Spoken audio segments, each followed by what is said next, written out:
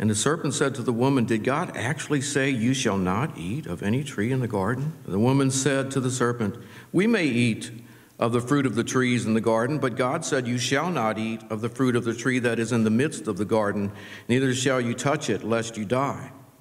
But the serpent said to the woman, You will not surely die. For God knows when you eat of it, your eyes will be opened, and you will be like God, knowing good and evil. He's pretty crafty, isn't he?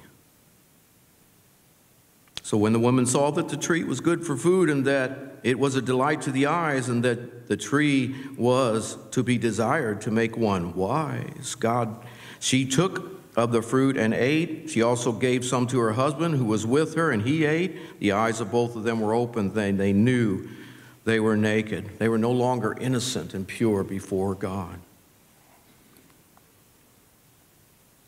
Over in uh, verse 8, and they heard the sound of the Lord walking in the garden in the cool of the day, and the man and his wife hid themselves from the presence of the Lord among the trees of the garden.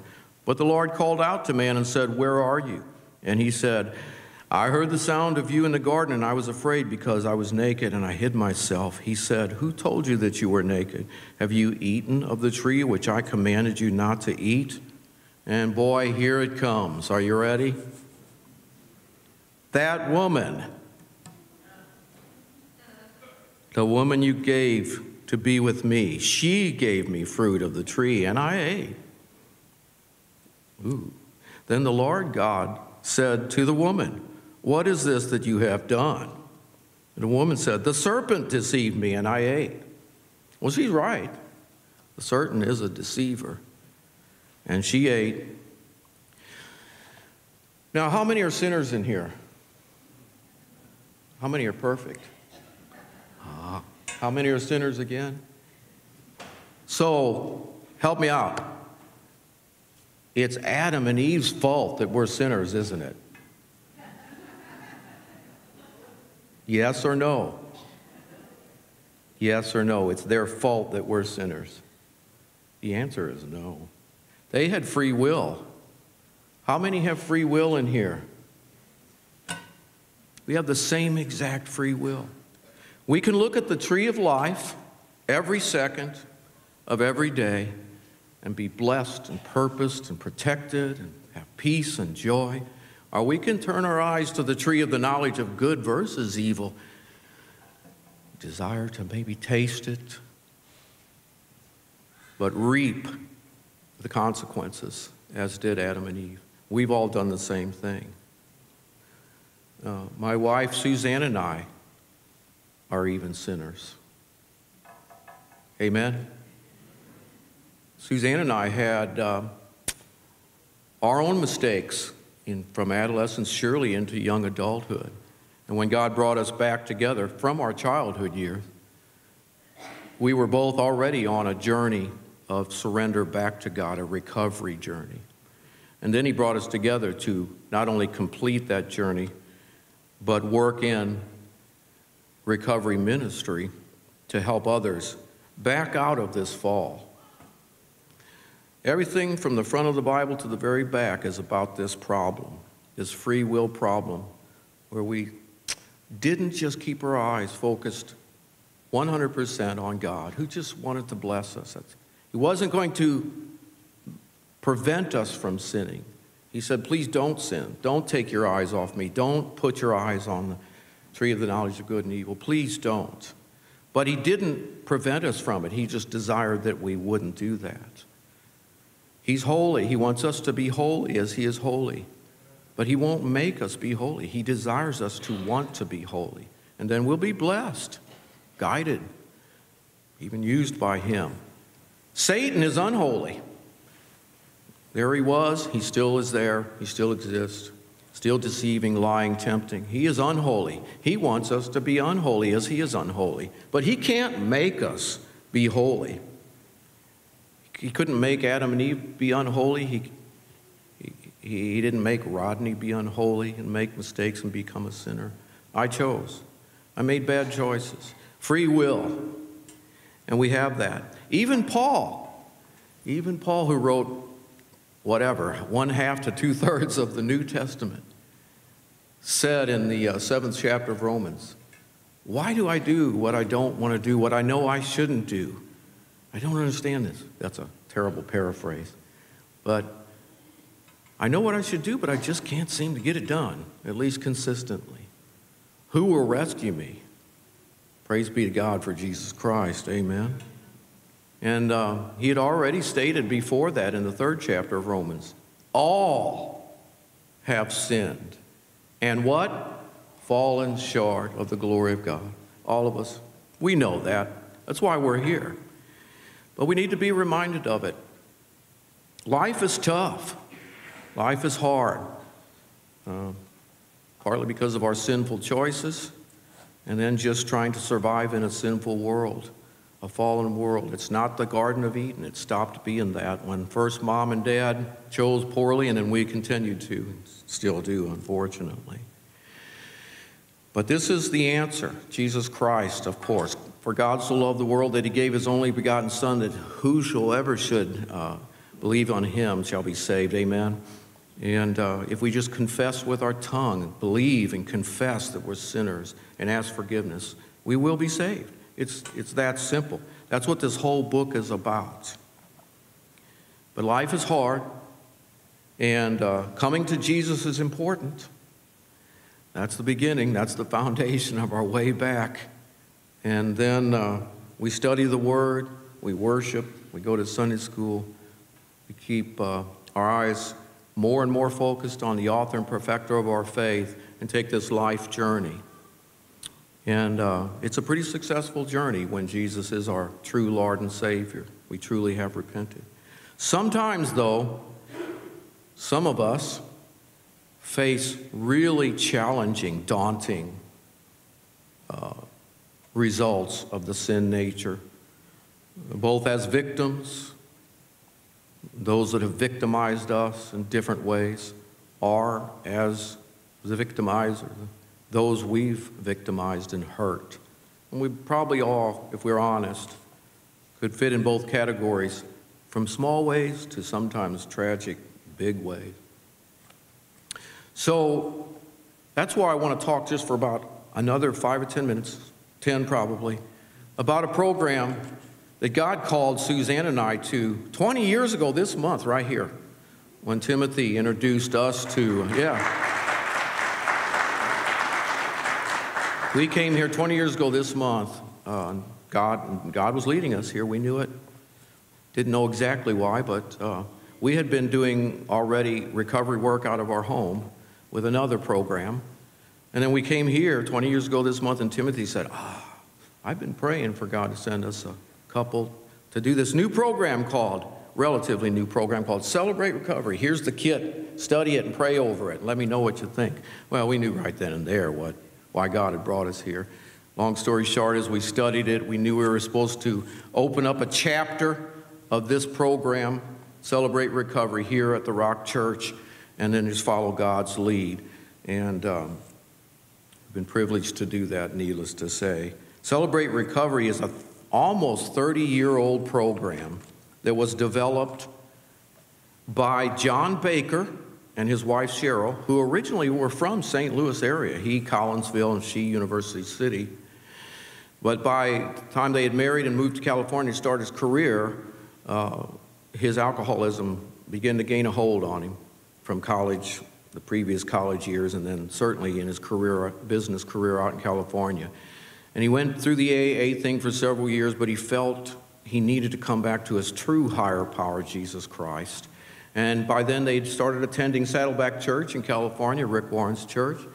And together, they knew God was leading them to build this Christ centered, Bible based program of Celebrate Recovery.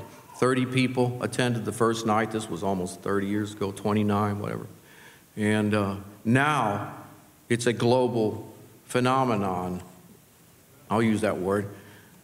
But ordained by God and controlled by God.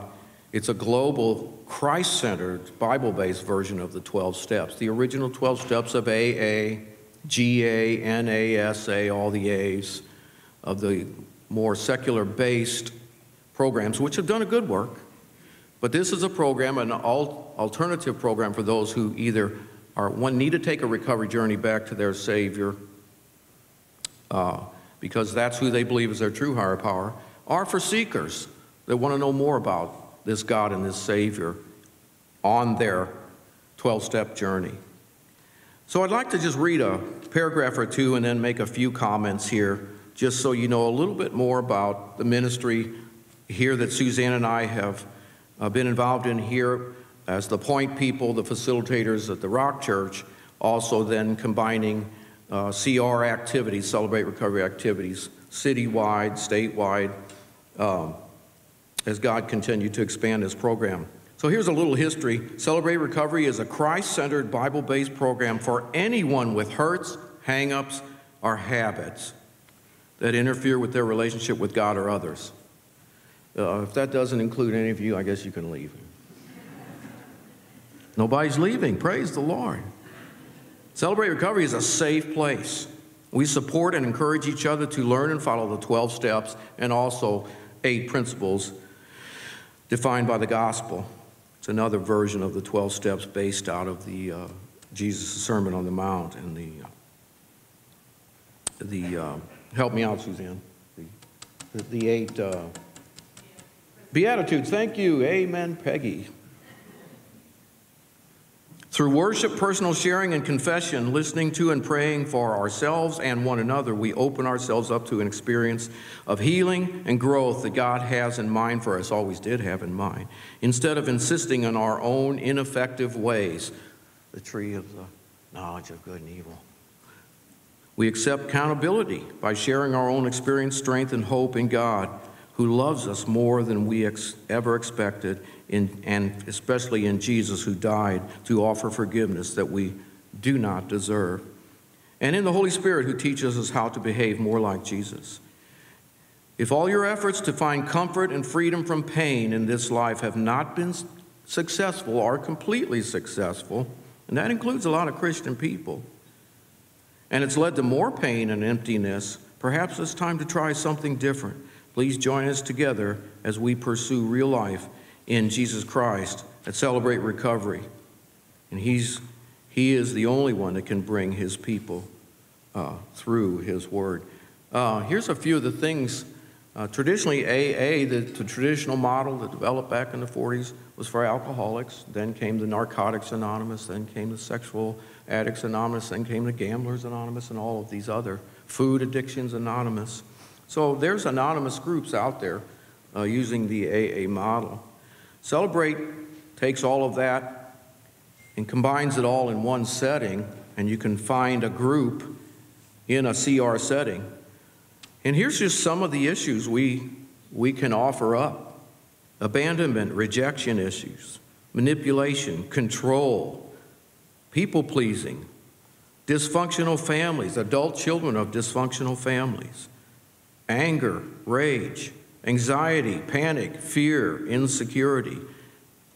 Here's an important one. Codependency and unhealthy relationships, enabling others, divorce, marriage issues, depression, loss of hope, abuse issues. For a lot of people, that was childhood. Physical, sexual, emotional, other forms of neglect, eating disorders, overeating, undereating gambling, grief, sadness, guilt, shame, obsessive compulsive behavior, overspending and financial loss, overworking, workaholism, perfectionism, and of course, again, the chemical dependency, alcohol, drugs, and certainly sexual addiction and gambling addictions.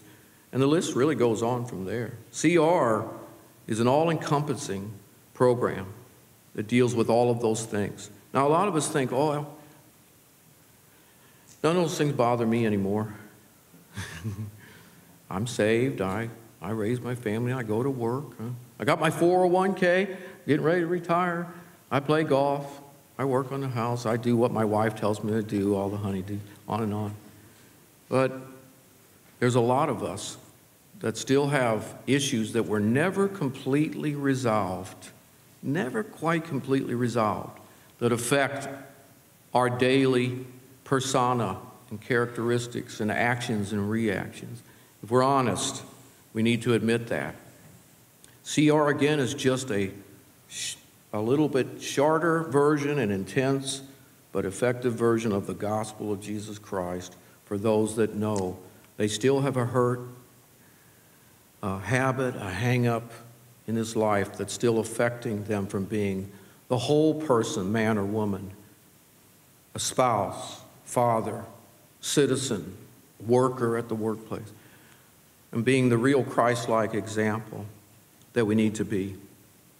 And so, CR is for you if you sense that, or for a family member uh, that may need CR.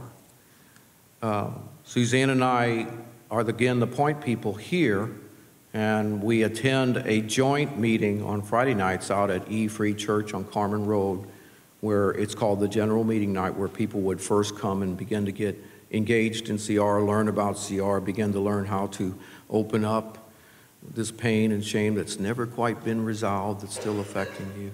Hear testimonies and, and, special instructions.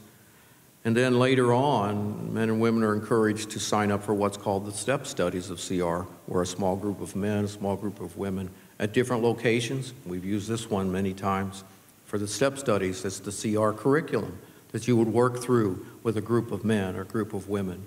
And really, once and for all, reclarify what's still affecting you.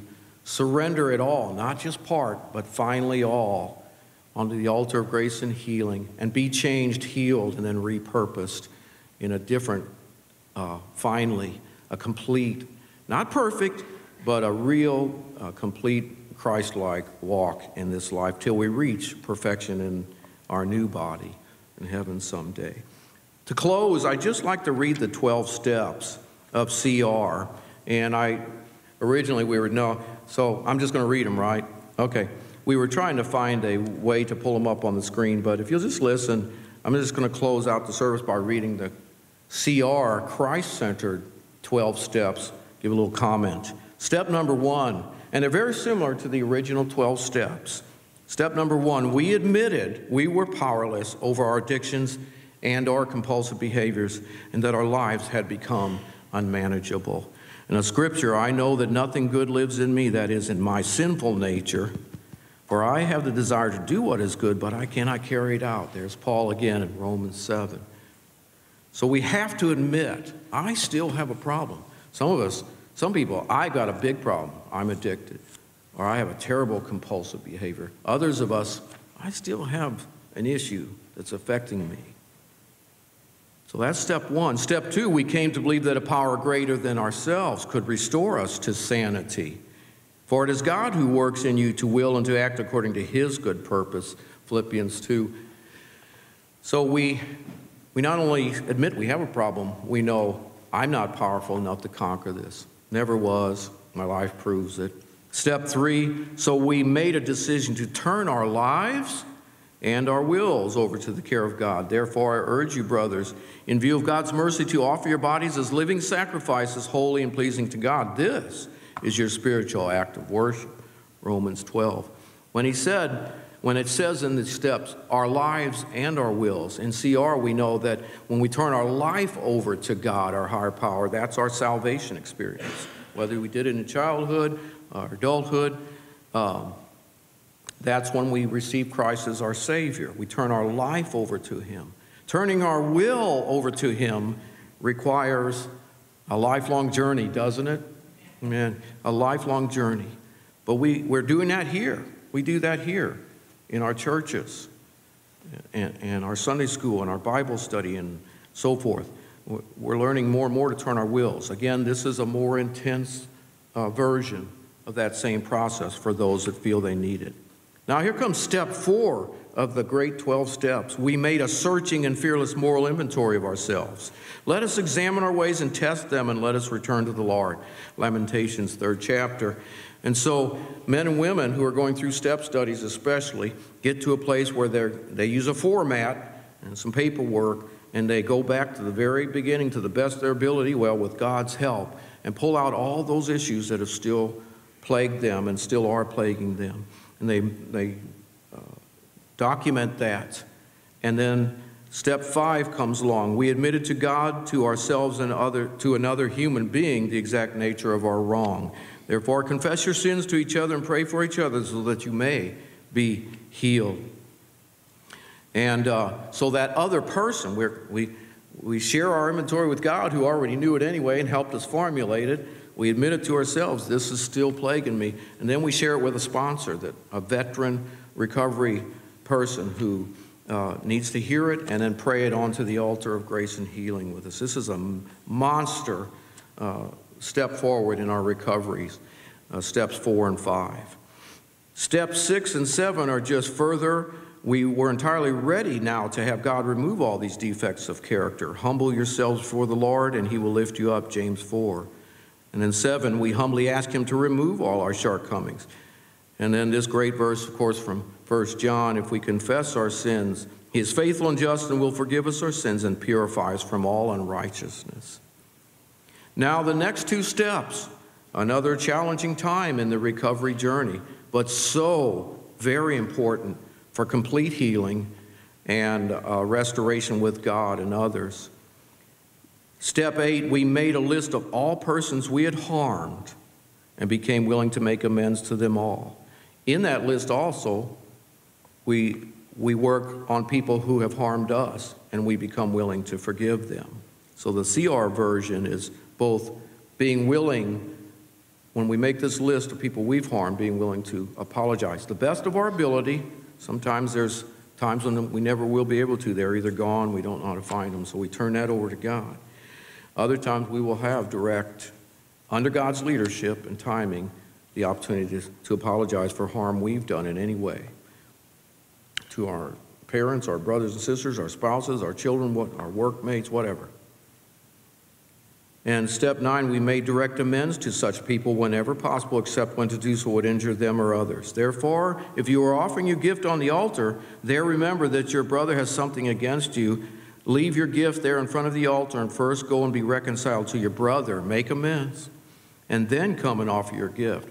We, we really don't want to just consider ourselves completely righteous and even righteous enough to come here and at the altar. Now, don't misunderstand that. But if we haven't really sought to make amends with those we've hurt or forgiven those that have hurt us, uh, this is a real important step. And it's a tough one, but with God's help and the uh, people walking beside you, the power of the Holy Spirit of God and Jesus, it can be done. And it is an amazing, healing, freeing event in a recovery person's life. And then the maintenance steps, we call them of CR come 10, 11, and 12. 10, we continue to take personal inventory every day, every minute. And when we were wrong, promptly admitted it. So if there's an event, we learn in recovery if there's a, a new event that's happening that could become cancerous and ugly for years. We don't want to do that anymore. That's what we were making amends for. We want to admit it right away. Step back, take a breath, say a prayer, God, what was my fault in this? And then go right back to that person and apologize for your part or, you know, make amends. So, so if you think you're standing firm, be careful that you don't fall. 1 Corinthians 10. Step 11 is real important. We all know this already in our Christian lives anyway. We sought through prayer and meditation and Bible study to improve our conscious contact with God, praying only for knowledge of His will for us, not ours anymore and the power to carry His will out. Let the word of Christ dwell in you richly. CR definitely, really uh, hits this heavy. You must have daily quiet time with God in the Word and prayer and meditation and following thereby the lead of the Holy Spirit in all we do throughout the day, including, again, our actions and reactions to every situation, which are still going to be tough at times. And then the great step 12, this is really important for recovery people, it's the give back step. Having had a spiritual experience as a result of these steps, we tried to carry this message. We try to carry this message to others and practice these principles in all our affairs. Brothers and sisters, if someone is caught in sin, you who are spiritual should restore him gently, but watch yourself, or you also may be tempted. Galatians 6. The enemy's never going to stop. He's never going to stop, is he? Now, we've got Jesus as our Savior, hopefully. We'll address that if you don't here in just a minute, but um, the enemy's never going to stop. But as we move down a journey, whether it's just only through our churches and Bible study and, and in our quiet time, and uh, that's good, that's important. Uh, the enemy has less and less opportunity. God builds a wall of protection more and more every day, every year, and he just finally reaches a point where he, he goes on to other places. And uh, that's what we're after here in our church lives, our Christian walk. But again, in 12 step Christian recovery, uh, it's an intense um, emphasis uh, to get to this place where we intentionally every day are building, having God put another brick in the wall of protection around us against this enemy who's never going to quit until the day God puts him down once and for all. Now, back to Genesis 3rd chapter, God said, uh, told the serpent, you know, uh, her descendants, the descendants of Adam and Eve, they're going to be enemies of yours. Again, this is a terrible paraphrase. And you will, some, some, some uh, interpretations say bruise his heel, some say bite his heel. But then it says, He will crush your head. And that He is Jesus theologically. And He did that in two phases. One has been done one yet to come. He died on the cross, but then God rose him from the grave, and, he, and Satan's head was crushed. Death no longer had its uh, victory over us that have come back to God through his saving Son. And then part two of that final crushing of Satan's head and deceptions and lies that he's still trying to do, even to us, Christian people, as well as all of humanity, will be when Jesus returns. And uh, those that know Jesus will enter into the new heaven and the new earth, perfect joy and peace. And the enemies of God, both Satan, the demons, and humans that have rejected, sadly, uh, their heads will be crushed in the pit of hell. Sickening. It's all about choice, free will. It always was. Have you used your free will to come back to Jesus as your Savior and begin a life journey of returning to the full, perfect purpose and design God always had for your life? I'm still on that journey. I don't, I'll never leave it. Praise God. And if you need a little more intense help on that journey with issues that have never quite been resolved, come see Suzanne and I right after the service. We'll give you some information. But in the meantime, I'd like to ask those who have never, if you know you've never accepted Christ as your Savior, your, uh, and by the way, worship team can come now. Timothy's better at the timing of all that. But if you've never accepted Christ as your Savior, certainly it is our duty here to encourage you to pray about that and consider that and follow the Holy Spirit, hopefully. Right up this aisle, I'll pray with you. If you just have other hurts, hang ups, and habits that you know still need to be dealt with, you can come pray over those.